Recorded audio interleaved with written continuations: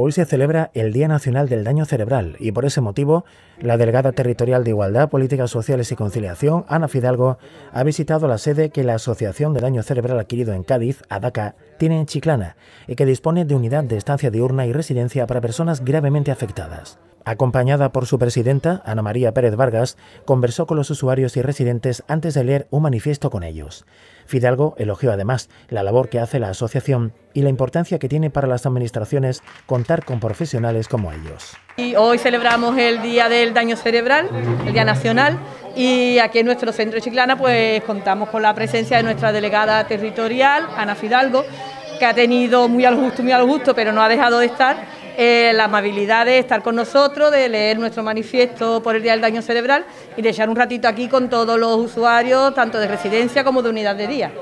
Para nosotros pues es un día muy especial y además contar con tu presencia. y bueno, es un día de fiesta. Nosotros, aunque el daño cerebral es verdad que es triste, es duro y es doloroso, en ADACA siempre tenemos de llevarlo como un día de fiesta. Este día se olvidan las penas y a pasarlo bien y lo que dure la campaña, pues nosotros estamos riéndonos. Y quería agradecer sobre todo a todas las familias, a los usuarios, a todas las administraciones, a los grupos políticos, por la aceptación que ha tenido nuestra campaña de nuestras camisetas. Bueno, pues lo primero, agradecer a DACA esta invitación, porque desde la Delegación de Igualdad, Políticas Sociales y Conciliación, lo que realmente eh, nos gusta es estar con los colectivos eh, por y para los que trabajamos.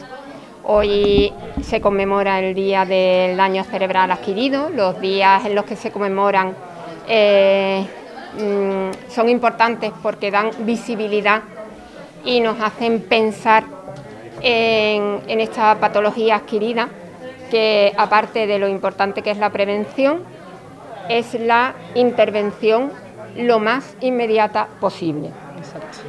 Eh, quiero darle la enhorabuena a DACA eh, primero por el mensaje que han querido transmitir con esta campaña. Un minuto basta para cambiarte la vida.